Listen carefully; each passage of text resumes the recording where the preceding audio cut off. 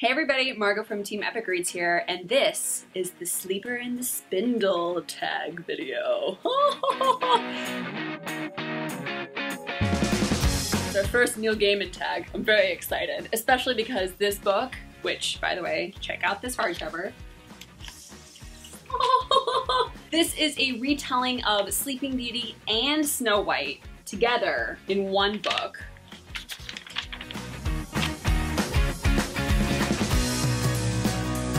I would change The Little Mermaid, and instead of Ariel going to Ursula and being like, yo, give me legs so I can like go get that dude up there, Ariel would be like, yo, Ursula, give me legs so I can become my own CEO of a Fortune 500 company.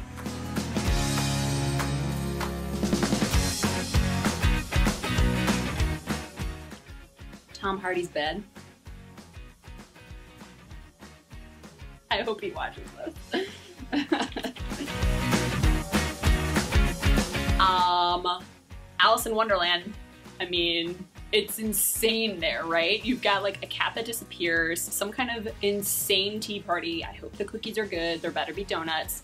There's like Tweedledum and Tweedledee, and honestly, like, I don't really know what's happening with them. And then you've got like the Queen of Hearts action going on. I don't know. There's just like so many really crazy things happening, and I think it would be like really cool to live there. Um, this one's pretty obvious. Uh, the worst curse would be that I would never be able to read any book ever again, and then that would mean I wouldn't be able to read The Sleeper and the Spindle or any of Neil Gaiman's future books or any books in general, and I really don't like thinking about that. Please don't let this happen to me.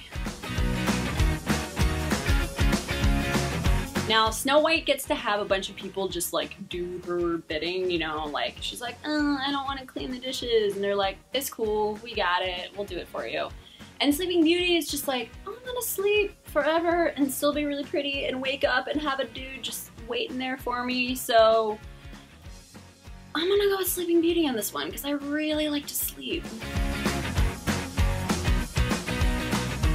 I actually had a really hard time coming up with an answer for this one because I feel like there are so many retellings out there. In fact, I did an entire infographic on this. There's 162 retellings that I know of when I made that two years ago, and since then there's been even more retellings that have come out. So there's a lot of YA retellings out there.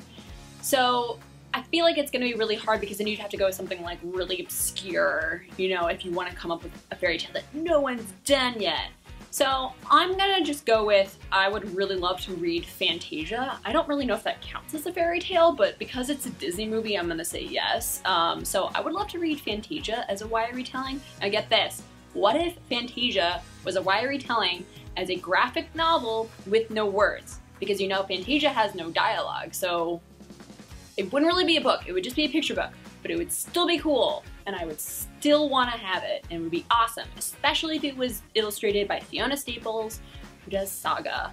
And if you haven't read Saga, you really should. Um, but yeah, so what fairy tale would you want to read?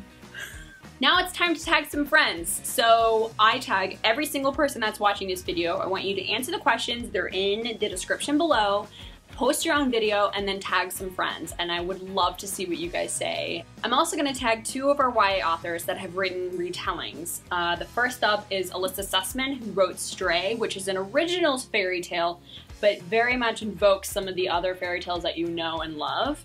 So I tag you, Elissa Sussman, and I'm also going to tag Mackenzi Lee, the author of This Monstrous Thing, which is a retelling of Frankenstein. So not a fairy tale, but you know, still in the same realm of Neil Gaiman and fairy tales and stuff like that. So Mackenzi Lee, I'm tagging you, Elissa Sussman, I'm tagging you, and Sasha, I also tag you. And I can't wait to see your guys' videos. And don't forget to get the Sleeper and the Spindle. Honestly, it will make your bookshelf look so sophisticated. Let me just look at it. It's Neil! It's Neil Gaiman! It's so good. Okay, alright, I'll see you guys later.